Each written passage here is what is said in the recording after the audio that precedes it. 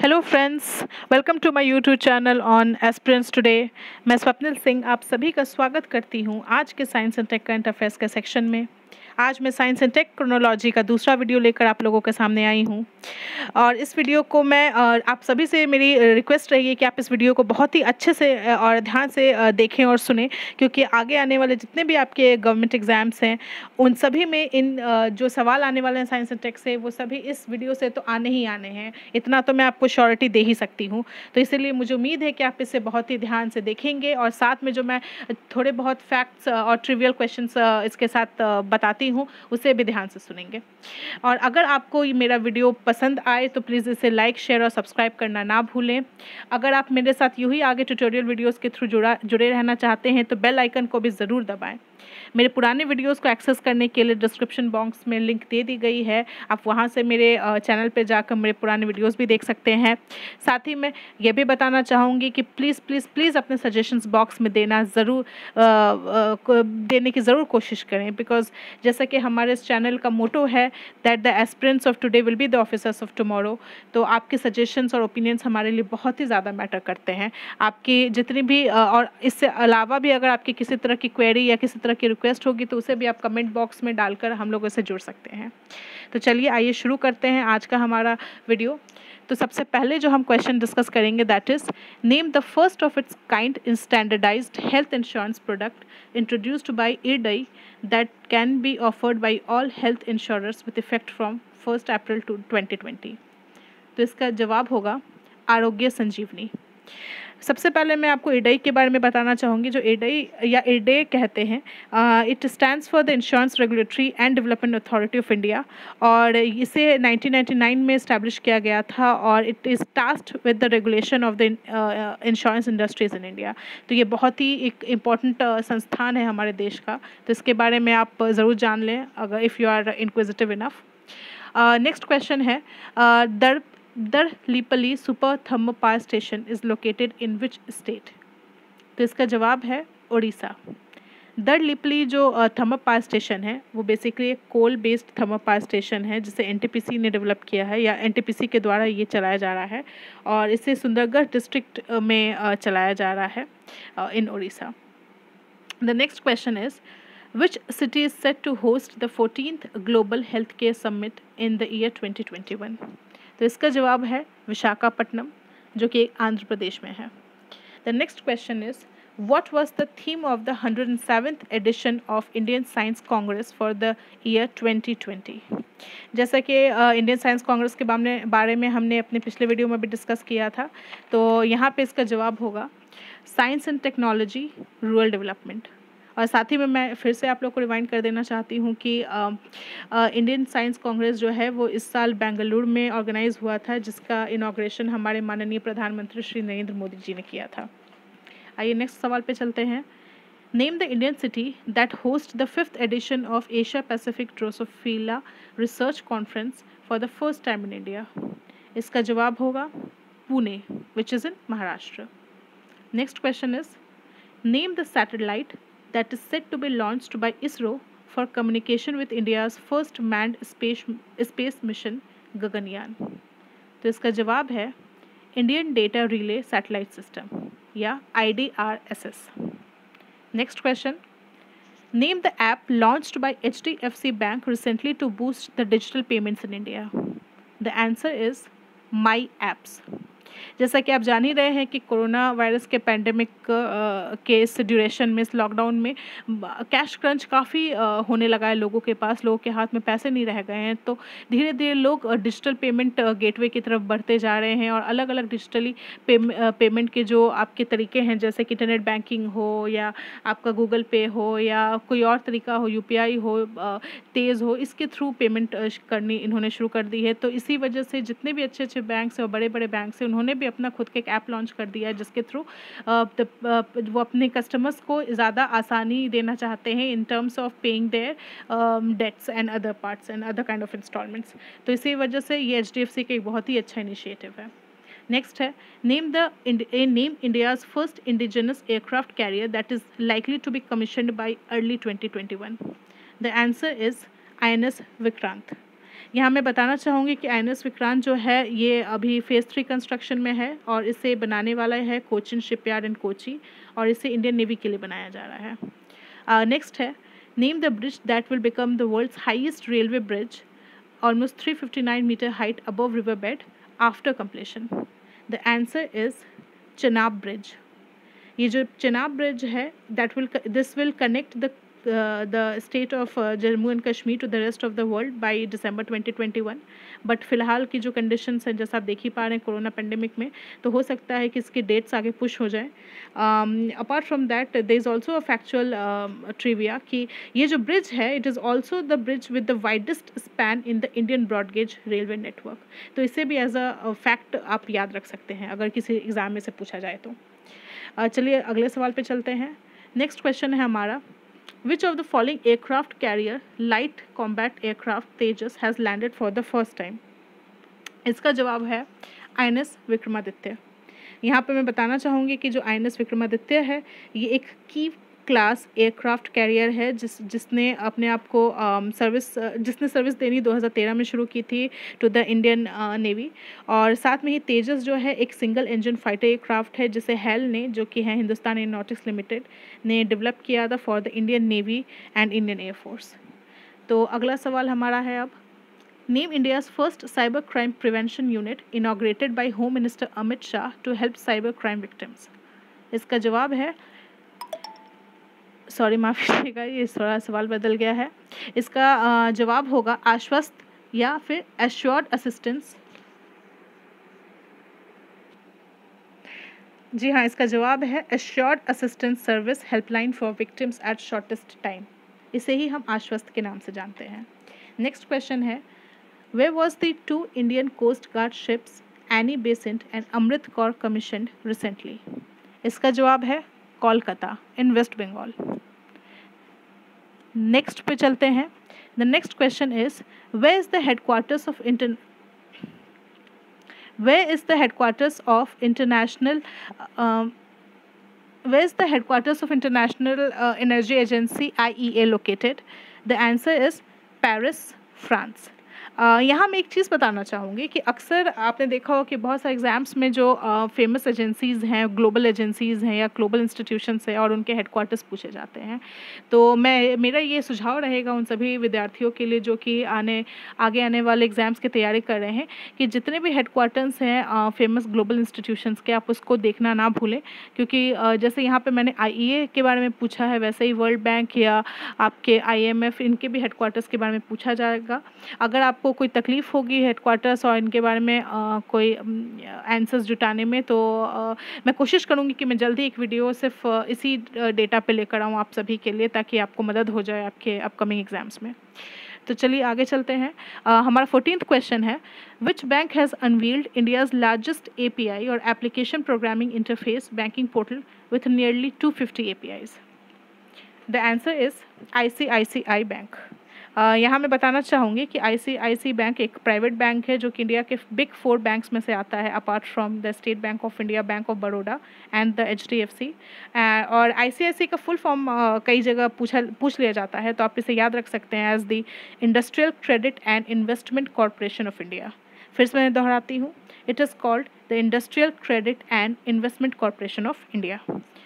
इसे ही हम ICICI बैंक कहते हैं। नेक्स्ट क्वेश्चन है who received the highest civilian honor of Australia और the order of Australia honour तो इसका जवाब होगा मिसेस किरण मजुमदार शॉ मिसेस किरण मजुमदार शॉ के बारे में बताना चाहूँगी कि she is the founder and chairperson of the big of the bio pharmaceutical company Biocon जो कि बहुत ही नामी और प्रख्यात कंपनी है हमारे देश की in the field of pharmaceuticals and she is the fourth citizen to be awarded with this honour also एक चीज़ आप याद रखें कि जो ये ऑर्डर ऑफ़ ऑस्ट्रेलिया ऑनर होता है, ये उन लोगों को दिया जाता है जो एक्स्ट्रॉर्नरी कॉन्ट्रीब्यूशन करते हैं towards the country of Australia और टूवर्ड्स ह्यूमैनिटी तो काफ़ी प्रस्टिजियस और रिनाउंड अवार्ड है ये। नेक्स्ट सवाल पे आते हैं। Name the first airport in India that acquired disabled aircraft recovery equipment और there from a German company to recover the disabled aircraft the answer is Kempegowda international airport, जो कि बेंगलोर का एयरपोर्ट है और काफ़ी फ़ेमस भी है। नेक्स्ट है name the first state in India that implemented the agricultural land leasing policy recently the answer is Uttarakhand. तो यहाँ मैं ये बताना चाहूँगी कि इस लीजिंग पॉलिसी के अंतर्गत एक बड़ा ही अच्छा सा क्लॉज है, जिसमें ये बताया जाता है कि जो फार्मर अपनी लैंड को ऑलमोस्ट थर्टी ईयर्स के लिए लीज पर देता है, इस नई पॉलिसी के अंदर उस कंसर्न फार्मर को अब से रेंट भी मिलेगा अपने उस लैंड को लीज पे देने का। तो ये उन फार्मर्स के लिए काफ़ी राहत की बात है, जो कि इस पॉलिसी के अंतर्गत आएँगे। तो आप इसे भी एज अ फैक्ट याद रख सकते हैं। नेक्स्ट क्वेश्चन है। Name the first Indian telecom operator that has recently launched U P I और unified payments interface payments space the answer is Reliance Jio जी हाँ रिलायंस जियो जो हमारे देश का सबसे बड़ा टेलीकॉम ऑपरेटर बन के उभरा है पिछले चार सालों में तो आप जान तो आप समझ सकते हैं कि अब चूँकि ये U P I payment sector में भी उतर रहा है तो it will be in direct competition with the leading payment provider such as Paytm Google Pay and PhonePe तो देखते हैं आगे क्या होता है इस फ़ील्ड में. नेक्स्ट सवाल है हमारा which is the most polluted Indian city in India as per the Greenpeace Indian report India report for 2018. Uh, इसका जवाब है झड़िया इन झारखंड तो ये जो ग्रीन पीस इंडिया की रिपोर्ट आई थी 2018 की, ये इसका, इसे पब्लिश किया गया था 2019 में। तो इसके अनुसार जो झड़िया है झारखंड का it is being called the most polluted Indian city out of a list of 287 cities with almost 322 micrograms per cubic metre of P M ten pollutant तो जो कि बहुत ही ज़्यादा हाई है। यहाँ मैं ये भी बताना चाहूँगी कि झरिया जो है, उसे कोल कैपिटल भी कहते हैं, क्योंकि Jharia is a part of the Dhanbad district और Dhanbad is known as the coal capital of India तो शायद इसी की प्रेजेंस की वजह से, इतने ज़्यादा कोल माइंस की प्रेजेंस की वजह से this is called the most polluted Indian city next है which country has operationalise the world's largest radio telescope 500 metre aperture spherical radio telescope और FAST recently the answer is China next सवाल है हमारा which are the two countries that have signed an agreement to upgrade the 50.58 kilometre long Ashuganj Akhaura road in a four lane highway the answer is India and Bangladesh यहाँ पे मैं ये भी बताना चाहूँगी, जो आशुगंज रिवर पोर्ट और Akhaura land port है, वो दोनों बांग्लादेश में हैं और इसे डेवलप की डेवलप करने की ज़िम्मेदारी इंडिया और बांग्लादेश ने साथ में उठाई है। नेक्स्ट क्वेश्चन पे चलते हैं. Which country will train the Indian flight surgeon for Gaganyaan mission the answer is France. और गगनयान मिशन के बारे में हमने अपनी पिछली वीडियो में first part of science and tech में भी डिस्कस किया था कि ये एक मैंड मिशन होने वाला है स्पेस मिशन इंडिया का होने वाला है। और इसके लिए जो फ़्लाइट सर्जन्स होंगे who will be taking care of the health of the astronauts on the mission will be trained undergoing training by France इसमें लगभग दो वीक की ट्रेनिंग दी जा रही है इन सर्जन्स को ताकि ये गगनयान मिशन में जाने वाले एस्ट्रोनॉट्स का अच्छा ख्याल रख सकें। तो काफ़ी अच्छा इनिशिएटिव है ये। नेक्स्ट uh, है Where was India's first e-waste clinic inaugurated? The answer is Bhopal in Madhya Pradesh. Uh, the next question is Which country launched the nuclear capable surface to surface ballistic missile Ghaznavi with strike range of 290 kilometers recently? The answer is Pakistan. Next, name the artillery gun system whose marching contingent took part for the first time in the Republic Day parade recently. The answer is Dhanush यहाँ पे एक छोटी सी बात मैं ज़रूर बताना चाहूँगी आप सभी को कि धनुष जो है, वो एक अपग्रेडेड वर्जन है स्वीडिश बोवर्स हाविट्जर्स का। बोफोर्स के गन के बारे में तो आपने सुना ही होगा, काफ़ी बड़ी कंट्रोवर्सी भी उसके ऊपर हुई थी तो ये फिर से एक बार न्यूज़ में है। और इसे जो है जो बोफर्स थे, उनको प्रोक्योर किया गया था इंडिया में नाइनटीन में और धनुष उसी का एक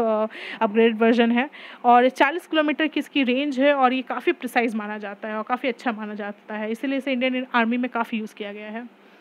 चलिए अगले सवाल पे चलते हैं। The next question is Pakistan has recently conducted a successful flight test of the air launched nuclear capable cruise missile Raad two what is its range the answer is 600 kilometres जी हाँ 600 किलोमीटर इसकी range है। और ये काफ़ी एक अच्छा test flight मानी जाती है जब से पाकिस्तान ने इसको यूज़ किया है। अपने अगले सवाल पे हम चलते हैं यहाँ पे। हमारा अगला सवाल है Which ministry has launched the Kala Kumbh to promote geographical indication crafts and heritage of India? The answer is Ministry of Textiles. जैसा कि नाम से ही पता चलता है कि कला कुंभ जो है वो एक ऐसा आ, मेला है जिसमें आ, जो आर्ट एंड क्राफ्ट से रिलेटेड जितनी भी चीज़ें होंगी उसका प्रमोशन करती है गवर्नमेंट और इसे मिनिस्ट्री ऑफ़ टेक्सटाइल्स ने ऑर्गेनाइज किया है for the promotion of the crafts and heritage things of India अगले सवाल पे चलते हैं name the joint military exercise between the air forces of India and the United Kingdom annually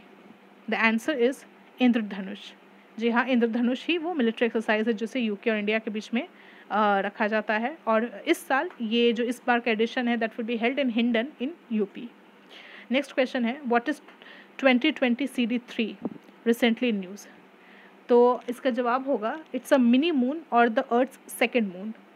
यहाँ मैं एक फैक्ट बताना चाहूँगी कि जो ये ट्वेंटी ट्वेंटी सी डी है, ये बेसिकली एक मून ना होकर एक एस्टेरॉयड है, जिसे हमने टेम्प्ररी कैप्चर्ड ऑब्जेक्ट का भी नाम दिया है, जैसे या टीसीओ जिसे हम कहते हैं। और ये, इसे उम्मीद है कि एक टेम्प्ररी फ़ेज़ में इसलिए रहेगा because eventually it will break away from the earth orbit and go away तो इसलिए आप इसे टेम्प्ररी मून भी कह सकते हैं apart from mini moon and earth second moon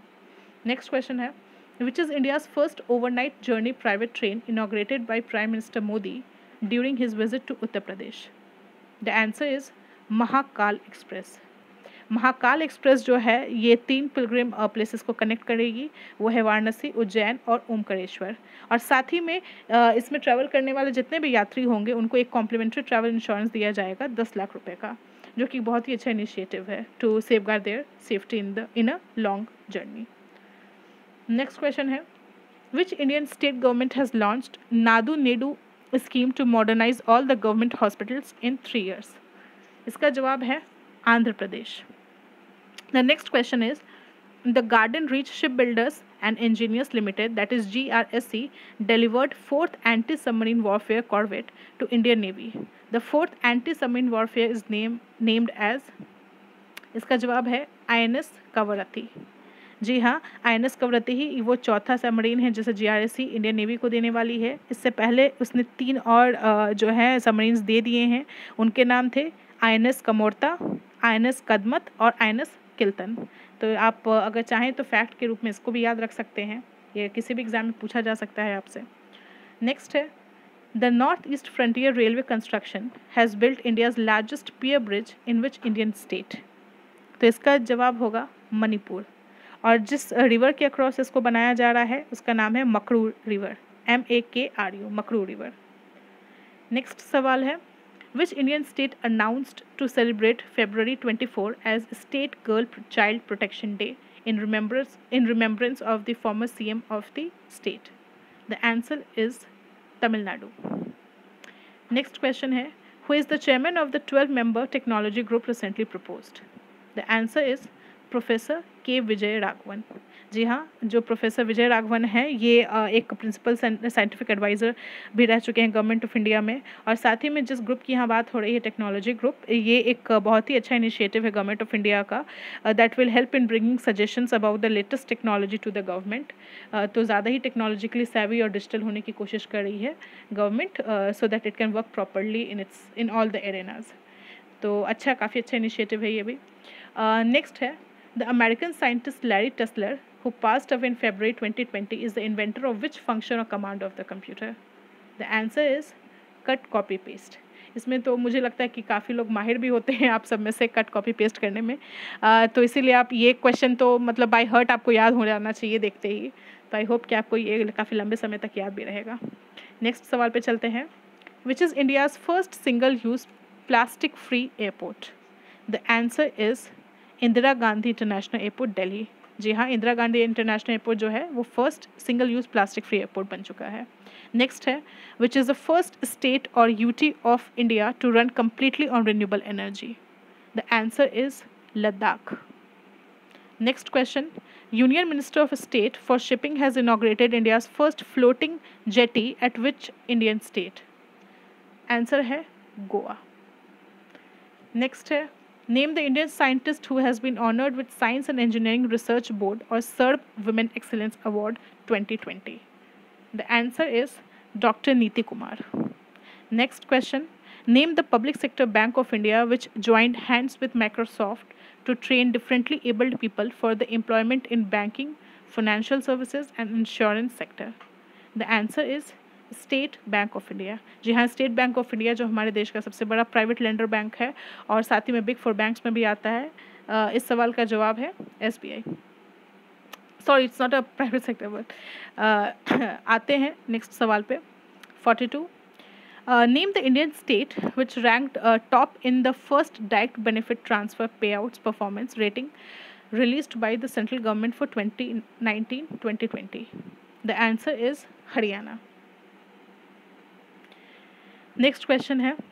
Name the Indian institute which developed the Thirumathi Kart mobile application for promoting products developed by self help groups the answer is